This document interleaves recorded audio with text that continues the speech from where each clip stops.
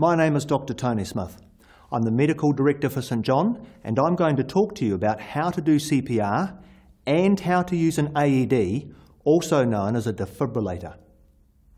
CPR is the method of pumping blood around a person's body by pushing on their chest and blowing in their mouth when they have suffered from a cardiac arrest, which simply means that their heart has stopped beating.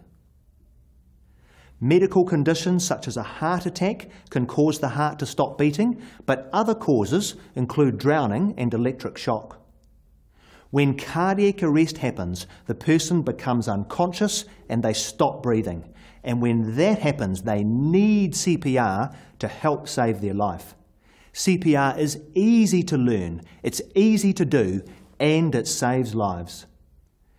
Every day in New Zealand, somewhere between three and four people will need CPR in order to help save their lives.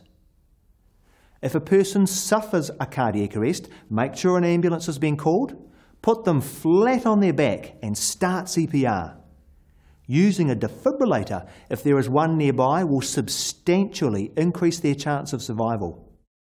AED stands for Automated External Defibrillator. It's a portable emergency defibrillator. A defibrillator is a device which supplies a safe electric shock in order to restart a heart which has stopped beating. If a person in cardiac arrest receives a shock from a defibrillator prior to an ambulance arriving, their chances of surviving are much, much higher. AEDs are most useful where large numbers of people get together, and there is now an AED at your local ASB branch.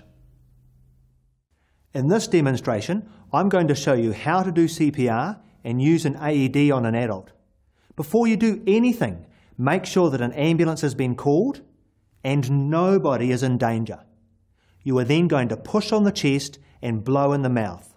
You push on the chest 30 times and you blow in the mouth twice. Remember this 30 to 2, no matter who. Now, let's have a go. To push on the chest, put one hand on top of the other. Put your hands in the middle of the chest with your shoulders over the patient and keep your arms straight. Push hard and push fast 30 times. 28, 29, 30. Now blow twice in the mouth. Tilt the head, pinch the nose, and blow twice.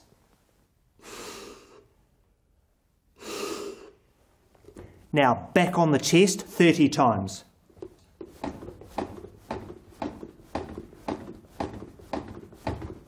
Twenty-eight, twenty-nine, thirty.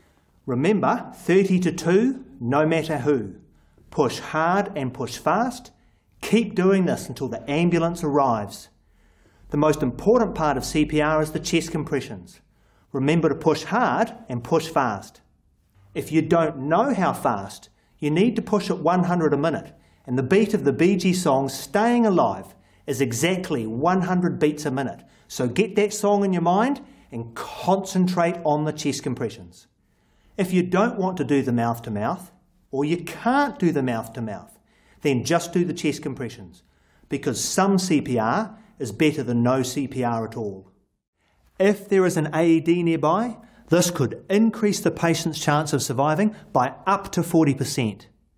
AEDs are designed for people who have no prior medical knowledge and use simple voice instructions so that anyone can use the AED safely and effectively.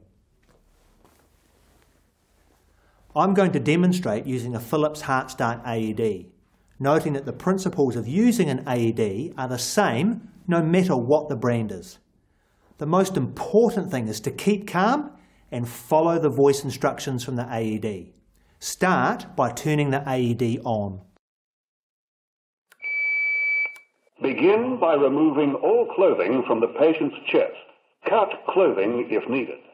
When patient's chest is bare, remove protective cover, and take out white adhesive pads. Look carefully at the pictures on the white adhesive pads.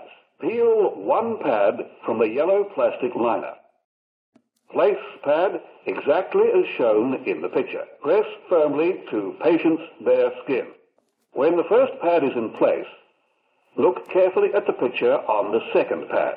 Peel the second pad from the yellow plastic liner. Place pad exactly as shown in the picture. Press firmly to patient's bare skin.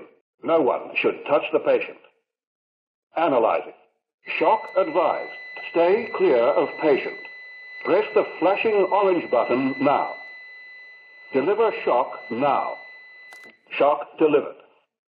Be sure the ambulance service has been called. It is safe to touch the patient. Start CPR. For help with CPR, press the flashing blue button.